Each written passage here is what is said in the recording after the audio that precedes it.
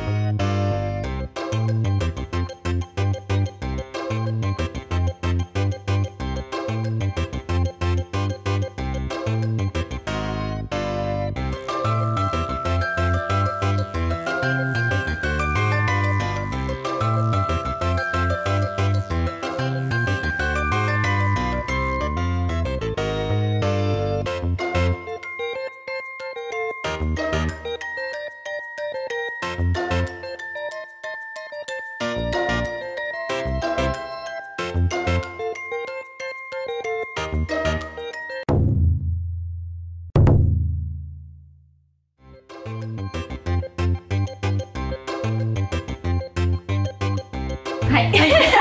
入れます。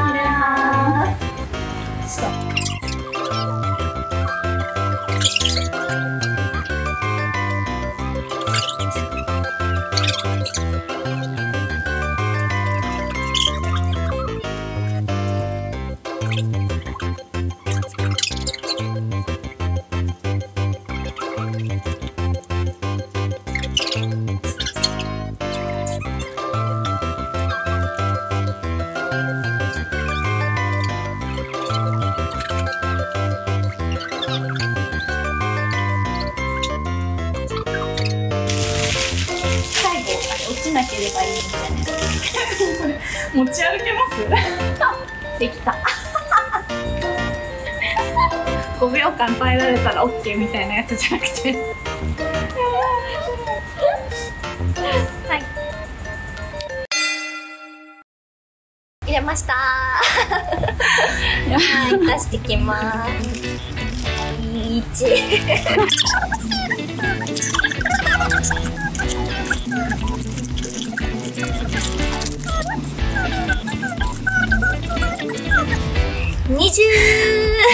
驚異のおかき率 はいじゃあ私これだけ詰めましたあ負けてる気がする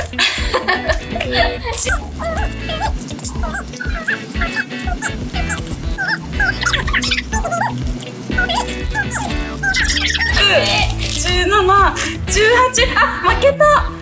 負けました。でもすごい入った。人ともさっきもちょっとリアルに想像できるようにお菓子とか使ってみたんですけどあの思ったよりやっぱりたくさん入るっていうのが伝わったら嬉しいです。でこのミニポシェットあのペコイさんがセレクトした新色も揃えて全4色でご用意してます。すごいカラバリも豊富で可愛い色味なのでぜひ参考しいです。この動画が参考になったら是非高評価ボタンとチャンネル登録をお願いします。では最後までご視聴いただきありがとうございました。ありがとうございました。